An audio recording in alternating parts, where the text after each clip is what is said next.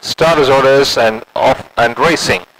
Level break at the gates, but uh, the one to shoot into the lead is Classy Guy, who's showing plenty of speed to take the charge and leads from Rahil, the speedster, trying to match strides early. Another length and a half behind, settling into third is Pentagon, followed by Marvel Princess, Honest Hunter running one deep. They followed then by Star and Gorgeous Lady, beaten for speed, 8 to 10 lengths behind is Kionia. So Red Scratch at the stalls was yours forever.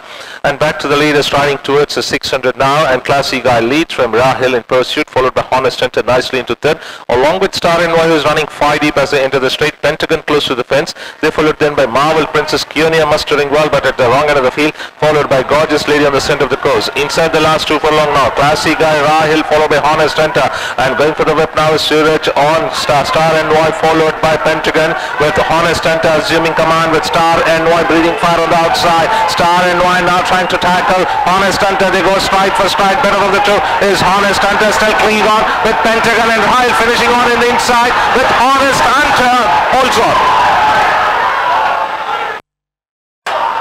So Honest Hunter claims the Soviet star plate, fending off the challenge put by Star NY. Good finish on the inside was Rahil and Pentagon, so I leave it to the judge, but the winner was clear, that's Honest Hunter. They followed then by Marvel Princess, Gorgeous Lady Kionia, and the long-time leader, Classy Guy.